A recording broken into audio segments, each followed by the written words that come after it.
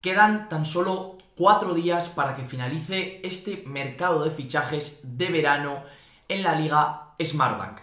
Y hoy vengo al canal con seis nombres de futbolistas de la Liga Santander que creo que pueden salir en estas próximas horas y que reforzarían al Real Zaragoza.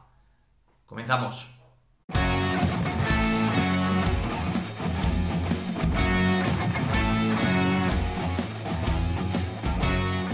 Ya estoy aquí y ya sabéis que soy de la opinión de que al Real Zaragoza le hacen falta mínimo dos futbolistas para reforzar su plantilla en este mercado de verano. Sabéis también, si me habéis seguido, que las posiciones a las que me refiero son la de extremo izquierdo y, obviamente, como sabe todo el mundo, la de delantero centro, la de 9. Para mí, sería idóneo traer un futbolista en cada zona. Ya lo digo, un extremo y un delantero. También podría ser que llegasen dos nueves y que pasasen a Juliano Simeone y a Narváez a la posición de extremo izquierdo.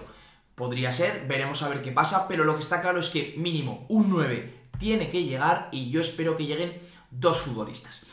Como os he dicho en la intro, hoy vengo con seis futbolistas que pertenecen a equipos de la Liga Santander que yo creo que no van a tener excesiva participación en este año, en esta temporada, y creo que deberían buscar una salida ya sea en forma de cesión o en forma de rescisión de contrato y que creo que vendrían muy bien y que serían piezas que potenciarían bastante la plantilla del Real Zaragoza.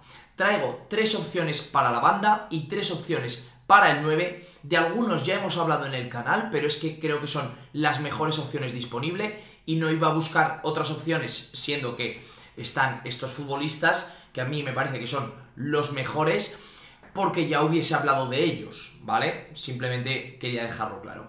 Primera opción de los jugadores para el puesto de banda y quizá es el más desconocido de este vídeo, bueno, quizá no, seguro. Y estamos hablando de Marcos Paulo, el futbolista portugués del Atlético de Madrid, criado en Brasil y que es un jugador que fichó el Atlético de Madrid hace dos temporadas libre. Es una apuesta de futuro, tan solo tiene 21 años. El año pasado estuvo cedido en la Liga Portuguesa, en el Famalicao, y se habla que este año el Atlético de Madrid lo quiere ceder otra vez. Parece que hay dos equipos en la pose, o sea, en la pole por él, Fluminense y Botafogo, dos equipos de la liga brasileña. Parece que el jugador quiere o tiene más opciones de salir a la liga brasileña que de quedarse en España, pero creo que debido a las buenas relaciones que hay ahora entre Atlético de Madrid y Real Zaragoza, podría ser una opción que viniese a Zaragoza. Para el que no lo ha visto, que imagino que sois casi todos, es un extremo eh, diestro que juega por izquierda, a pierna cambiada, muy asociativo, quizá le falta un pelín de punta de velocidad, no es ese típico extremo súper rápido, pero es muy asociativo, le gusta jugar mucho hacia adentro, tiene muy buen último pase, le gusta mucho filtrar ese último pase y creo que sería una muy buena opción para el equipo. Además, es un, es un jugador con muchísima técnica individual y muy joven. Entonces creo que es ese tipo de futbolistas que ya sabéis que yo creo que el Real Zaragoza debe apostar con un techo alto y todavía por explotar. Creo que es un futbolista que tiene mucho que dar, muy talentoso y que podría aportar muchísimo desde el principio. Segundo futbolista del que vamos a hablar, ya sabéis que una debilidad mía, los que seguís el canal desde hace tiempo me habéis oído hablar maravillas de él, que es Martín Merkelanz, el futbolista de la Real Sociedad que el año pasado se perdió toda la temporada por esa grave lesión. Hace dos temporadas tuvo un año espectacular en el Mirandés y parece que la Real Sociedad no acaba de contar con él. De hecho, este año no ha jugado todavía ni un minuto. Tiene contrato hasta 2025, como veis en esa imagen. Y es un jugador que para mí reforzaría muchísimo la banda izquierda del Real Zaragoza. Es un jugador súper profundo, es zurdo, jugaría pierna natural.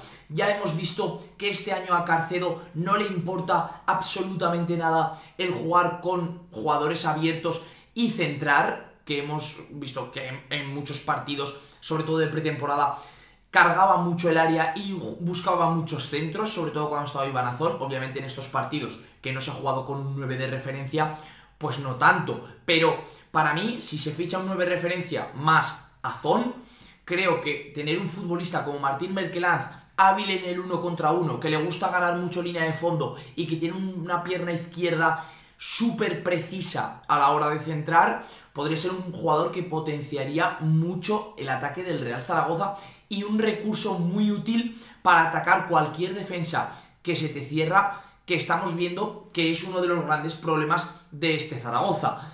A mí me encanta y creo que sería un recurso súper útil. Y el último jugador de banda, es cierto que es un futbolista más de banda derecha que de banda izquierda, porque también es un jugador a pierna natural siguiendo un poquito la idea de Martin Merkeland, ese jugador habilidoso, ese jugador que gane línea de fondo, que meta buenos centros, he pensado en Iván Alejo, el jugador del Cádiz que tampoco parece contar demasiado esta temporada, de hecho ha disputado solo 53 minutos y creo que es un jugador que podría aportar muchísimo y ser súper decisivo en esta liga Smartbank, un jugador también con desequilibrio, también capaz de generar eh, ese mismo desequilibrio desde un uno contra uno, con balón, sin balón, corriendo al espacio.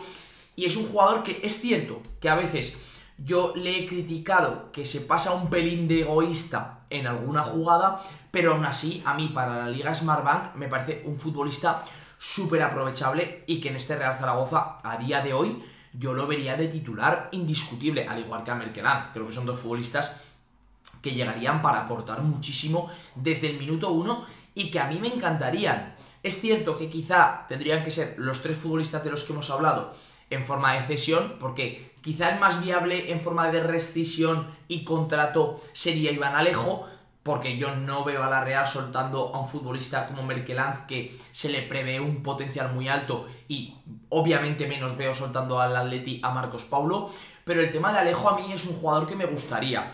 Veremos a ver, a mí por perfil de lo que necesita la plantilla me encaja más Merkelanz, porque creo que necesita más un jugador de banda izquierda que uno de banda derecha, pero aún así me parece que son dos jugadores que encajarían a las mil maravillas. Y ahora pasamos a las opciones para el delantero centro, tres futbolistas de los que yo creo que he hablado en el canal de los tres. Y el primero, es cierto que es complicado, pero vamos a hablar de Loren Morón. ¿Por qué lo meto en este vídeo? Primero, Loren estuvo hace tres años, si mal no recuerdo, muy cerca de recalar en el Real Zaragoza. Lalo lo tenía cerrado. Al final acaba haciendo la pretemporada con el Betis. Tres, no, igual hace más. El año de Borja Iglesias. Eh, imaginaos una delantera Loren Borja, que hubiese sido ese año. Estaba cerrado, pero eh, esa temporada el Betis tiene varias lesiones en pretemporada. Loren acaba subiendo a hacer la pretemporada. Lo hace bien, marca goles y se acaba quedando. Pero ese año la cesión estaba cerrada. Este año parece que ha rechazado una cesión al Celta, que al final ha fichado a Paciencia, pero ahora mismo no sé qué mercado tiene en primera división y no sé qué minutos va a tener en el Betis.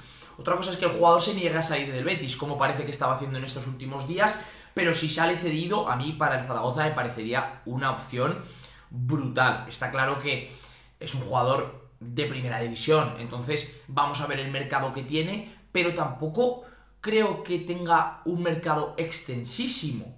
Vamos a verlo.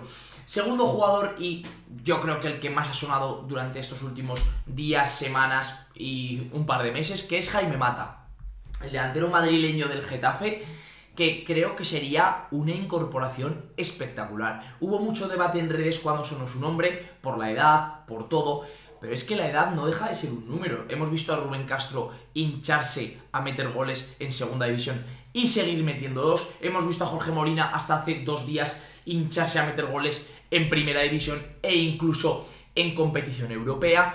Y a mí me parece que Jaime Mata es un perfil de delantero que además el Real Zaragoza necesita a día de hoy. Es un de referencia, rematador, que sepa moverse dentro del área, que aproveche ese mismo juego del que estábamos hablando antes por banda. Creo que Jaime Mata sería a mí el delantero que más me gustaría de todos los que han sonado. Luego a lo mejor acaba viniendo uno que no ha sonado y me gusta más. Lo comentaremos. Pero a mí Mata me parece un delantero para que si ahora mismo la plantilla del Real Zaragoza le sumas a Jaime Mata, creo que se empieza a hablar ya de que tiene que exigírsele estar peleando el playoff, pero con bastante eh, fuerza. No sé cómo lo veis vosotros, pero a mí Mata me parece un fichaje, un, un jugador de esos fichajes que cambian temporadas.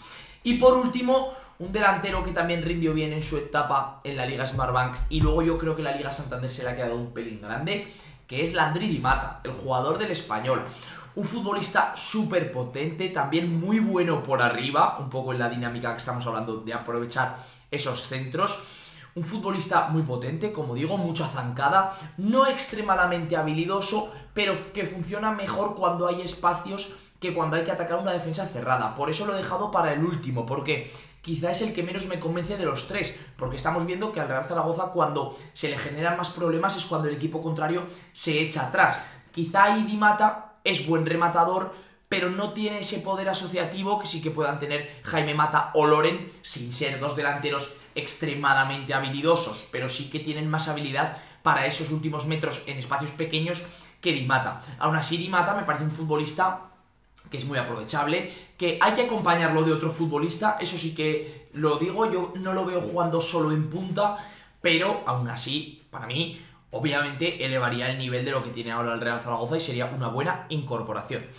Así que nada, espero que os hayan gustado estos seis nombres, comentarme aquí abajo cuál es el que más os gustaría, qué otros nombres que no hayan salido en el vídeo traeríais al Real Zaragoza, vamos a ver cómo se desarrollan estas últimas horas de mercado, porque yo creo que mañana o pasado haré un vídeo de actualidad hablando de todas las salidas que se esperan, todas las llegadas y obviamente vamos a ver porque en las, próximas horas espero que pasen cosas. También comentaremos la salida de Enrique Clemente, que ya fue oficial a la Unión Deportiva Las Palmas. Ya os comentaré un poquito lo que me parece, aunque todos sabéis, creo, la opinión que tengo sobre Enrique Clemente.